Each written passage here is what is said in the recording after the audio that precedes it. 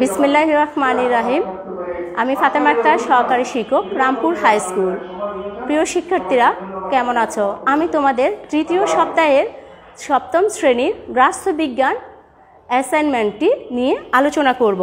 তোমরা দেখো, তোমাদের প্রথম অধ্যায়ে গৃহ ব্যবস্থাপনার স্তর ও গৃহ সম্পদের এখানে যে তিনটি প্রশ্ন আছে, সম্পদের বৈশিষ্ট্য অনুযায়ী যে তোমাদের পরিবারের সম্পদগুলো চিহ্নিত করো। তাহলে সম্পদের বৈশিষ্ট্য অনুযায়ী সম্পদ, সম্পদের বৈশিষ্ট্য অনুযায়ী পরিবারের সম্পদগুলো অর্থ, জমিজামা, বাড়িঘর, আসবাবপত্র, সরঞ্জাম, এইগুলো। এরপরে আরেকটা আছে, অর্থ দিয়ে কোন কোন কাজগুলো করা যায়, ব্যাখ্যা করো। অর্থ দিয়ে আমরা কোন কোন কাজগুলো করতে পারি?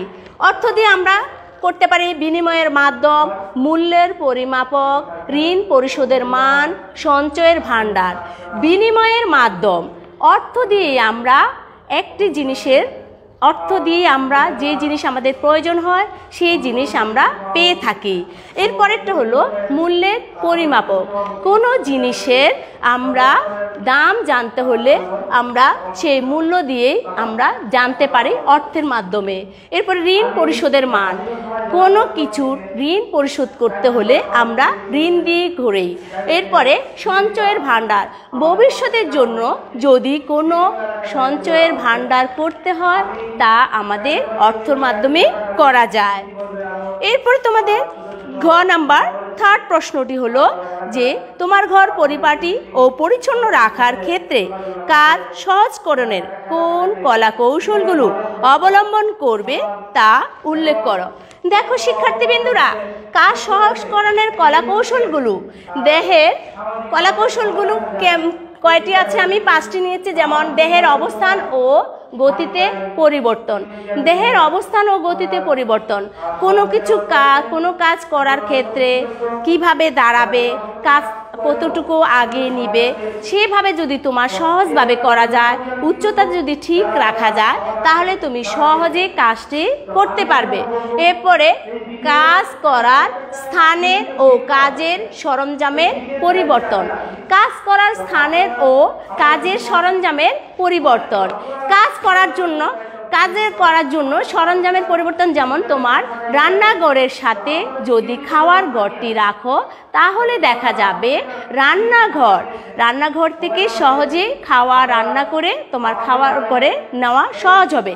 এছাড়া আরেকটি কাজ করা যায়, খাওয়ার ঘরটি যদি খাওয়ার কাজটা যদি রান্নাঘরের এক কোনায় করা হয়, তাহলে আরও সহজ করে কাজটি করা যায়। এরপরে দেখো শিক্ষার্থীরা উৎপাদনের বিনিময় পর্যায়ে পরিবর্তন। এটি হলো উৎপাদনের মানে বিনিময় পর্যায়ের পরিবর্তন।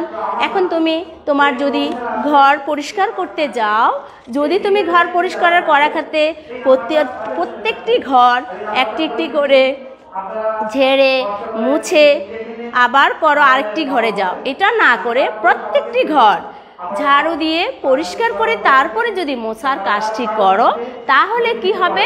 তোমার কাজটি অনেক তাড়াতাড়ি হবে, সহজ হবে। এরপরে দেখো, উৎপাদিত দ্রব্যে পরিবর্তন। উৎপাদিত দ্রব্যের পরিবর্তন দেখো।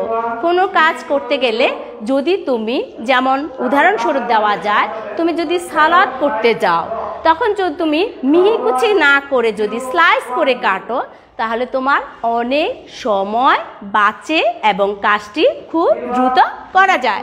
এরপরে কাজে বিভিন্ন উপকরণের পরিবর্তন। এখন দেখো, সাধারণত দেখা যায় জন্মদিন, বিয়ে, এরকম বিভিন্ন অনুষ্ঠান যদি করতে হয়, এখন দেখা যায় অনেক ক্ষেত্রেই ওয়ান টাইম প্লে গ্লাস ব্যবহার করা হয়, যা একবার ব্যবহার করার পরে ফেলে দেওয়া যায়।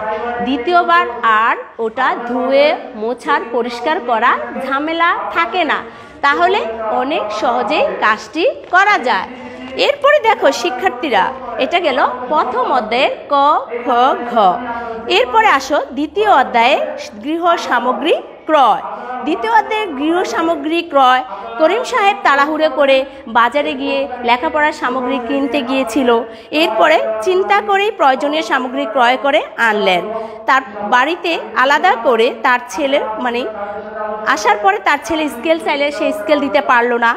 আবার ছেলে যেই কলম, তিনি যে কলম চেয়েছিলেন, দোকানদার তাকে সেই কোম্পানির কলমও দেননি। ফেরত দিতে গিয়ে বিক্রেতা তা ফেরত নিতে অস্বীকৃত হয়। তাহলে দেখো, ক, করিম সাহেব ক্রয়ের কোন নীতি অনুসরণ করেননি? বলে তুমি মনে করো, ব্যাখ্যা করো। এখানে দেখা যাচ্ছে করিম সাহেব আর ক্রয়িম সাহেব কি করেনি? ক্রয়ের প্রয়োজনীয় দ্রব্য সামগ্রীর তালিকা, নীতি, প্রয়োজনীয় দ্রব্য সামগ্রীর তালিকা, নীতি অনুসরণ করেন নি এরপর দেখো, খ, কলম কিনতে গিয়ে ভোক্তার অধিকার ক্ষুণ্ণ হয়েছে, বিশ্লেষণ করো। এখন, ভোক্তার অধিকার নিরাপ অনেকগুলো আছে। নিরাপত্তার অধিকার, অভিযোগ করার অধিকার, তারপরে শিক্ষা লাভের অধিকার স্থায়ী মানে জিনিসটা ভালো মানের সেই অধিকার পাওয়ার অধিকার আছে। এখন করিম সাহেব যেটা করতে গিয়ে ক্ষতিপূরণ যেটা কলম কিনতে গিয়ে ভুগছেন, ক্ষুব্ধ হয়েছেন, সেটা হলো ভোক্তার ক্ষতিপূরণ পাওয়ার অধিকার। কারণ করিম সাহেব যদি কলমটা ফেরত দিয়ে দিত, যদি তাকে তার যে কলমটা চেয়েছিল, সেই কলমটা দেওয়া হতো, আর নতুবা সে মূল্য যে টাকা কিনেছিল, সে টাকাটা ফেরত দেওয়া হতো, তাহলে দেখা যেত সে এই ক্ষুণ্ণ হতো না, তার সমস্যা হতো না। তাই এখানে সে কি হয়েছে? ক্ষতিপূরণ পাওয়ার অধিকারটি ক্ষুণ্ণ হয়েছে, পায়নি। এরপরে দেখো শিক্ষার্থীরা, তৃতীয় অধ্যায়ে গৃহকে মনোরম আকর্ষণীয় করার নীতি। গৃহসজ্জার শিল্পনীতি অনুসরণে পাঁচটি চিত্র অঙ্কন করে উজ্জ্বল রঙের প্রয়োগ দেখাও। তোমরা এই পাঁচটি শিল্পনীতি অনুসরণ করো। সে পাঁচটি শিল্পনীতি, পাঁচটি কি কি? সমানুপাত, ভারসাম্য, মিল, ছন্দ, প্রাধান্য। এই পাঁচটি শিল্পনীতি অনুসরণ করে পাঁচটি চিত্র অঙ্কন করবে এবং তোমাদের রঙের প্রয়োগ দেখাবে। এরপরে আসো পঞ্চম অধ্যায়, শিশুর বিকাশে খেলাধুলা। বর্তমান বিশ্ব পরিস্থিতিতে তুমি ঘরের বাইরে বের হতে পারছ না। তা সত্যি অনেক দীর্ঘদিন ধরে সবাই গৃহবন্দী বের হতে পারছ না। কিন্তু শখ পূরণের মাধ্যমে কীভাবে তোমার বুদ্ধিমত্তা ও সৃজনশীলতার বিকাশ ঘটে? এখন খেলাধুলার কথায় আসো। তোমরা যদি খেলাধুলা দেখো খেলাধুলা, এটা দুই ধরনের, একটা হলো অভ্যন্তরীণ খেলাধুলা আর একটা হলো বহিরঙ্গন খেলাধুলা। বহিরঙ্গন খেলাধুলা হলো কোনটা? বাহিরের খেলা, ফুটবল, ক্রিকেট গোলাছুট এগুলো। আর অভ্যন্তরীণ খেলা হলো সেগুলো ভিতরে খেলা হয়। দাবা, লুডু ক্যারাম এগুলো হলো ভিতরের বহিরাঙ্গন, খেলাধুলা। আর বুদ্ধি, এই বন্ধের মধ্যে তোমাদের বুদ্ধিবিদ্যার বিকাশ, যেমন দাবা, বাগাডুলি, ব্লক দিয়ে খেলা, ছবি আঁকা ইত্যাদি, এই ধরনের খেলায় অনুমতি ও সৃজনশীলতার বিকাশ ঘটে। এই ধরনের খেলা যদি খেলেও, তাহলে দেখা যাবে বুদ্ধিমত্তা ও সৃজনশীলতার বিকাশ ঘটবে। তাহলে শিক্ষার্থীরা, আমি আশা করি সবাই এই তোমাদের সপ্তম শ্রেণির রাষ্ট্রবিজ্ঞান বিষয়টি বুঝতে পেরেছ। এরপরও তোমাদের বিস্তারিত বই তো সব কিছু আছে আমি যেতটুকু বলেছি আশা করি তোমরা সবাই উপকৃত হবে। ধন্যবাদ সবাইকে। এই স্যার স্যার একটু আসেন। ব্যক্তিত্ব স্কুলের ছাত্রছাত্রী অভিভাবক এবং অবয় জনগণ